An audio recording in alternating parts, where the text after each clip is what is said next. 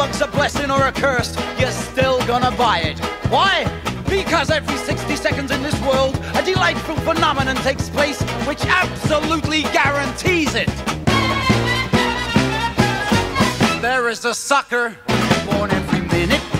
Each time that second hand sweeps to the top like dandelions, up they pop. Their ears so big, their eyes so wide and low. I feed them bona fide baloney with no truth in it. Why, you can bet I'll find some room to buy my corn. Cause there's a sure shooting sucker born a minute.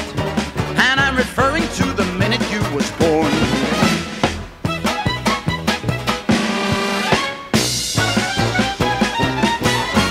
Each blessed hour brings 60 of them.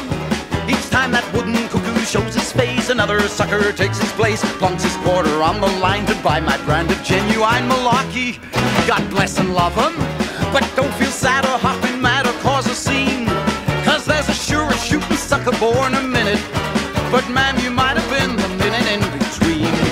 If I allow that right here in my hands, the smallest living human man, the sight of that is surely worth a dime.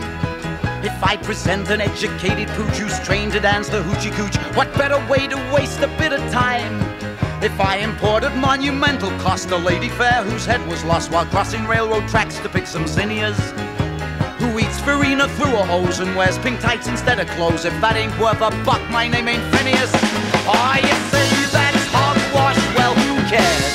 You buy my hogwash long as there's a sucker born every minute. Each time that second hand sweeps to the top like dandelions, up they pop their ears so big, their eyes so wide, and though my tail is bona fide baloney, just let me spin it. And ain't no man